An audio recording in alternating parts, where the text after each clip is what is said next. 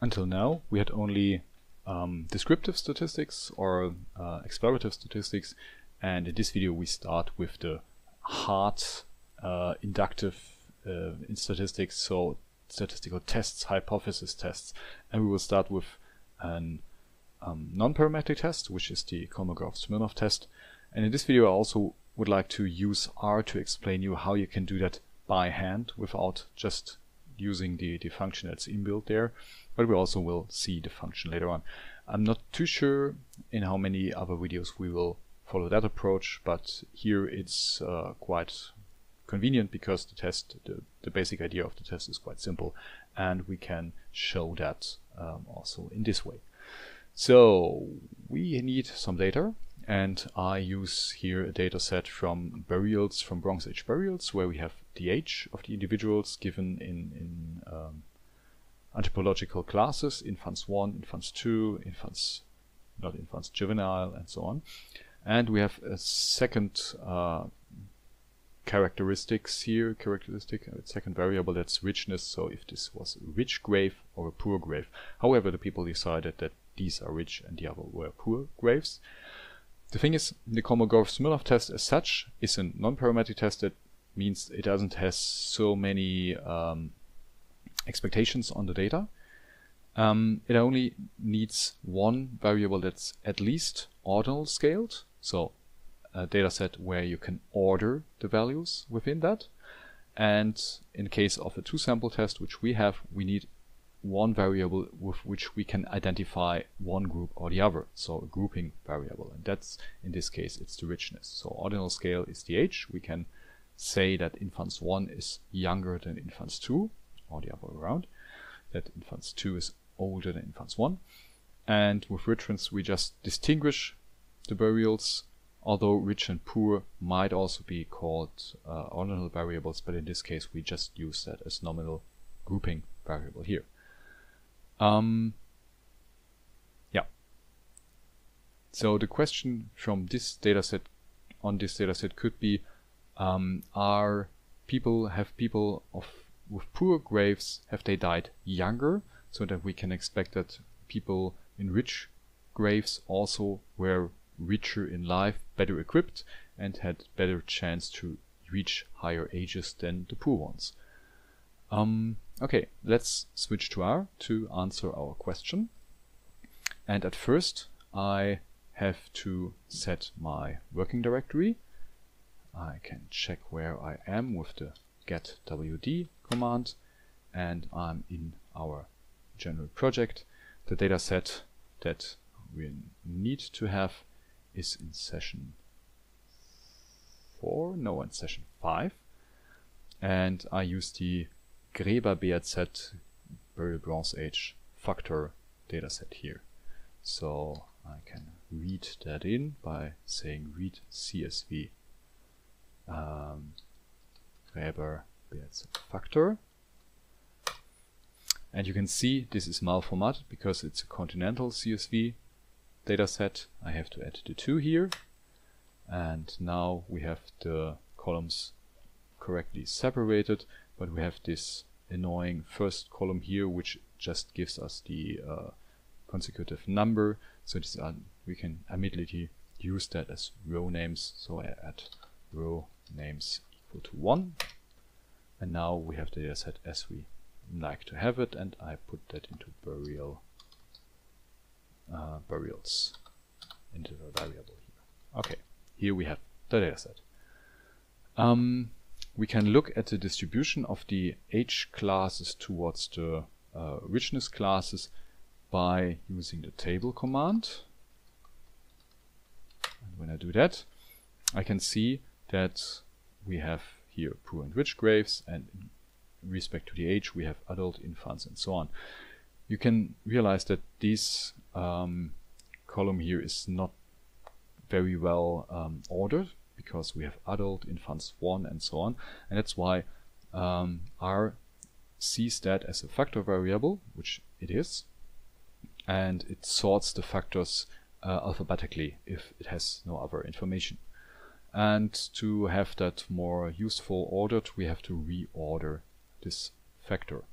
So what we have to do is to reorder the factor itself or make a new factor uh, and put that into the variable which already has the right order.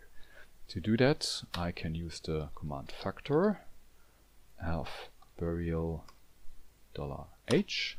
And if I just do that I get the same order of the factors out. So I haven't done anything except for putting a factor variable as a factor variable which it already is but we can add some additional informations to that for example giving the levels in the right order.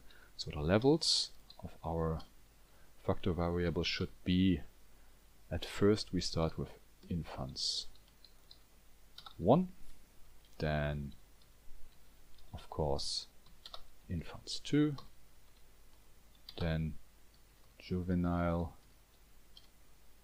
oops then adult then mature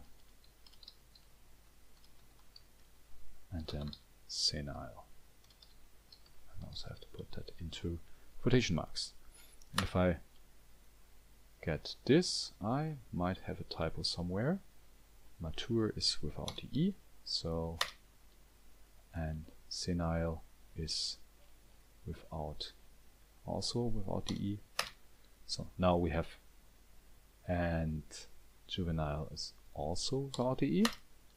Okay, now we have everything here without the NA values here. So now we have our levels ordered in the right way and you can see that down here infants 1 infants 2 juvenile adult mature senile like it should be and if I put that again into the original variable and repeat the table command you can see that now here the factor variable is ordered in the right way um, Currently, we just reordered the factor variable, but we didn't use an we didn't specify that's actually an ordinal variable. We could also do that. In our case, it doesn't matter so much, but we can, for example, just take that and instead of saying factor, we say ordered. And when I then look at the variable again, you can see before we had just the levels one after the other, and now we have this smaller sign which means now we have an ordered factor here which implement uh, implies that this is an ordinal variable. Later on in the Kolmogorov-Smirnov test we have to use uh, numbers instead of the actual ordered factor because it expects a numerical vector but it doesn't matter so much now. Okay, um, now we have this uh, these variables rescaled and the idea is of the Kolmogorov-Smirnov test we have the distributions here of the numbers and our question was um, is are which graves did which graves uh, the individuals in which graves did they reach different ages than those in the poor graves so we expect the rich graves to be older, but we keep that open, so we just want to compare these two distributions. And if we look at the numbers themselves, of course they are different um, in absolute terms.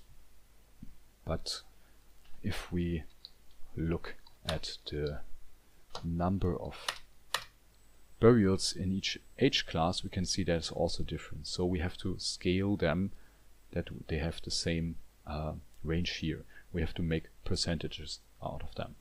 And with that, we can then compare the whole data set. And to do so, um, or one step back, the idea of the Kolmogorov-Smirnov test is to identify if there's a difference between the age classes that's big enough that we can speak of a non-random process, that the richness really influences the distribution onto the different age classes. So if there is a difference between within one line that's big enough that we have to speak from different processes going on here. So to come up with some percentage values, we can use our burial table in the beginning And if we select just the first column, then we get only the poor graves. If we select the second column, we get the rich graves. And of course we can turn that into percentages by making dividing that by the sum. So if I would do this divided by the sum of this, I get percentages. But we will use a different approach. That's the prop table, which does that for us. So if I paste in here my first vector, I get the same numbers here. So this also divides the individual data by the sum. And we can do the same for the second column. And now we can directly um, spot some difference here.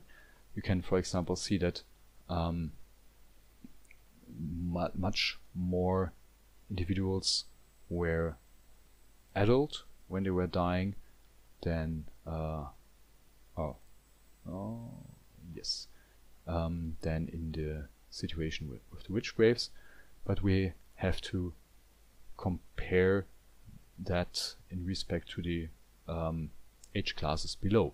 So we have to make a cumulative sum of the individual age classes and compare that. Cumulative sum means uh, infants 1 the first class gets the value it has. The class 1 above, the one uh, class 1 older, um, the cumulative sum is its actual value plus all the values below, so plus infants 1. The cumulative sum of the juvenile class is its actual value plus infants 2 and infants 1 and so on until to senile where we get uh, a 1 because every individual has died at senile ages or younger. Okay, the, com the command for com cumulative sum is cumsum.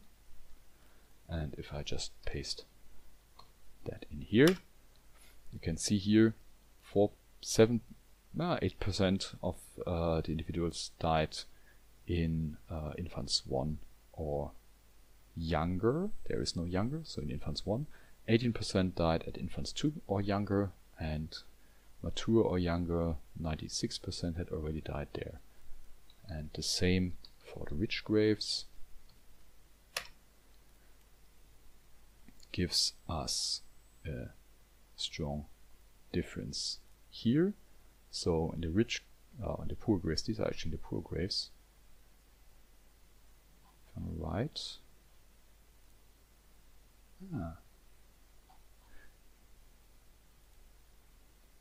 So in case of the poor graves, already 50% of the individuals had died at age um, juvenile or younger. So we can see already a difference here, but is this a significant difference? That's the question. And we have to answer that by using the Kolmogorov-Smirnov test and compare this difference to a difference that we um, define as threshold. If the difference is larger than that, we assume that there is a statistically significant difference. If it's smaller than that, um, we can't say that there's a statistical significant difference. So the first thing I do is to put these data into a variable, so rich EDF uh, as empirical density function should be that cumulative sum and poor EDF should be the second one. Okay, now we can plot, for example, the poor, the distribution or the um, values of the poor graves and I use a step plot for that. Now we can see how the age profile, the death profile uh, gets to 1 and um, I can add lines for the rich graves. Type should also be stepwise and um, color that red. And now we can see that here are already some difference uh, going on. So most of the rich graves, um, there are lesser uh, amount of individuals have died there here rich graves against the poor ones. Um, to make that a bit nicer, I could add here, turn that around. So I add here, um, I make this the x-axis and this the y-axis with the different age classes and I could add then the lines in the same way. Now we can see that here we see the difference in horizontal horizontal wise. So we can easily spot that here is the biggest difference at age class 3 and it would be nice if we could actually read what it means here. So this is of course infants 1, infants 2 and juvenile but let's enhance the plot a bit. That doesn't is not so much related to the Kolmogorov-Smirnov test as such, but it's a good uh, way of uh, representing that. So we make the same plot as we had before, but we don't want the axis to be plotted. And also I make the x limits to 0, 1. And I missed axis.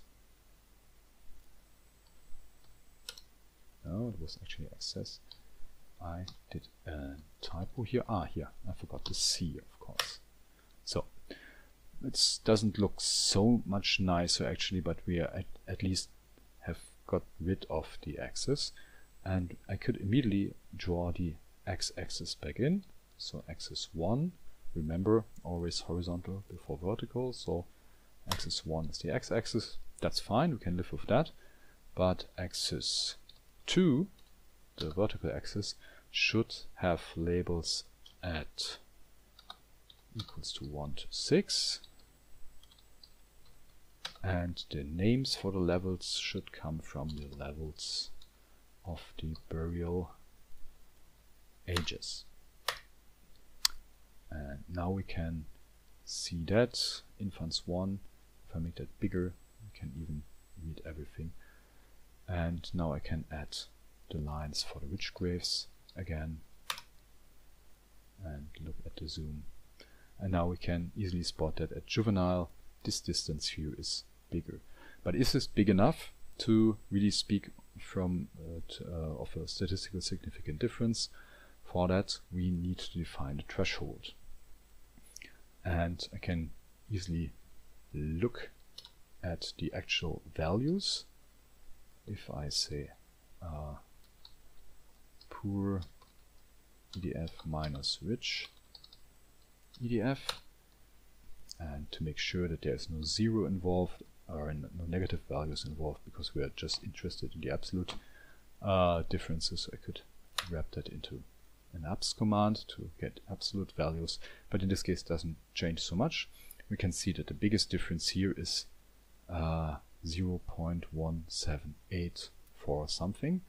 So is this difference bigger than a threshold? We can mark this uh, observed maximum difference into the max for max difference. And I just select the maximum of these absolute differences. And now we have this value here stored for later. So to come to the threshold um, we need a formula how we can um, identify the necessary threshold for that. And I copy paste some R code in here that gives us the formula.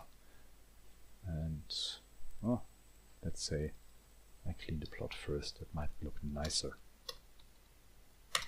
So the threshold for the Kolmogorov-Smirnov test is defined by a factor multiplied by the square root of the number of cases in the first class plus the number of cases in the second class divided by the number of the first class times the number of the second class. And this factor f here depends on what significance level we would like to achieve. So 0.05, the standard statistical significance level, then f would be 1.36 and for other levels there are other uh, values for f available. So the higher this value is, of course, the larger the threshold will be and the bigger the difference must be to speak about a highly significant or a very high significant difference here. But we start we stick to the standard statistical significance here and use that 1.36. Um, so we have to calculate our threshold according to this formula and we can get the numbers of uh, cases out of the table that we like we did before so table of burials dollar richness and then we get the poor and the rich graves so the first one defines the poor graves and the second one defines the rich graves and one is that and 2 is that. So now we have our values here and then we can just recreate the formula by saying 1.36 because this is our factor that we like to use times the square root of n1 plus n2 divided by n1 times n2 and because this is an addition uh, we have to encapsulate that into brackets so that it's executed first. And we can just for similarity do the same here. And this is the result of our threshold. So it's 194 something. And we could put that into a variable that we call threshold. And now significant is the result only if our observed difference exceeds the threshold that we have. So we can use again R to give us the answer. Is the max larger than threshold? And the answer is false. Just ignore the poor up here. So the maximum difference is smaller than the threshold, which means this test is not statistically significant.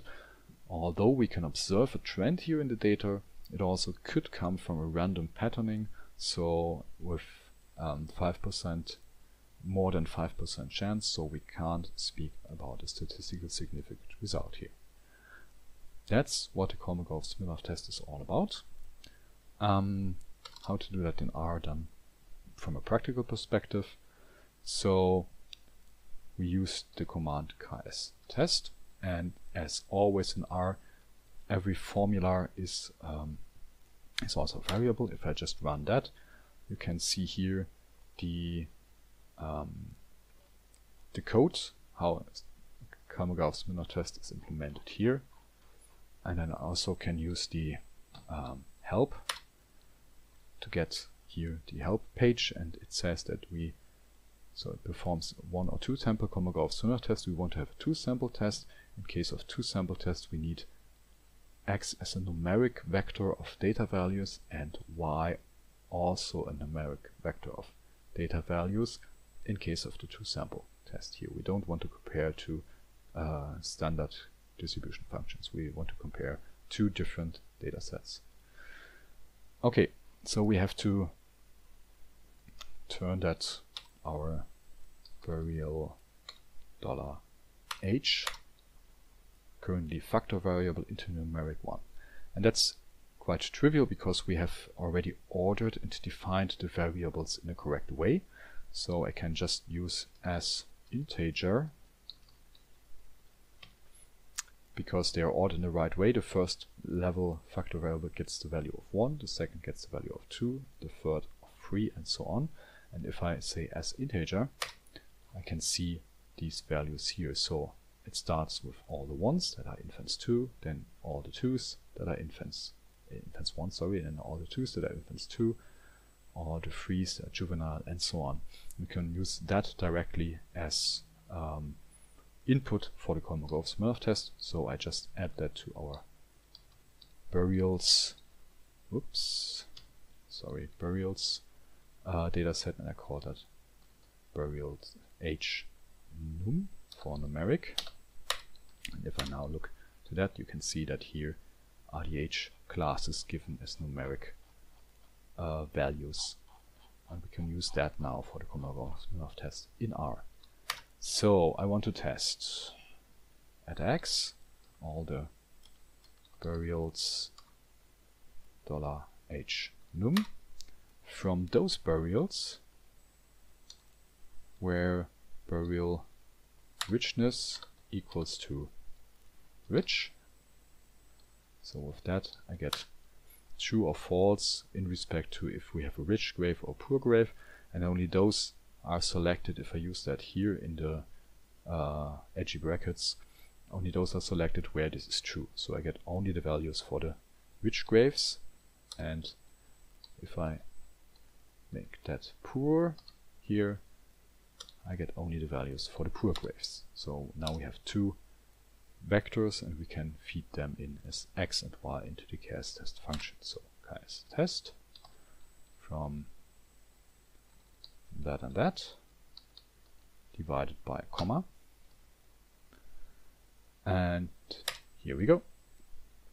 So here is a warning because uh, the ks test can't uh, give perfect um, analytical p-values if we have uh, equal values in the in the value tables here. So we have several ones and here also several ones, and this is a draw. Or, um, yeah, they are the same, so we can't get real p-values. They are just approximated, but that's not a problem. You can see our d value, which we also had calculated as d max before, and we get a p-value here, and this p-value gives us 0.089, so nearly 0.09, which is higher than 0.05, which means this test is not statistically significant. Um, also see how we um, specified the, the variables for the test here and that we have a two-sided test here so the difference is tested against if this richness if the rich graves were older or younger than the poor graves.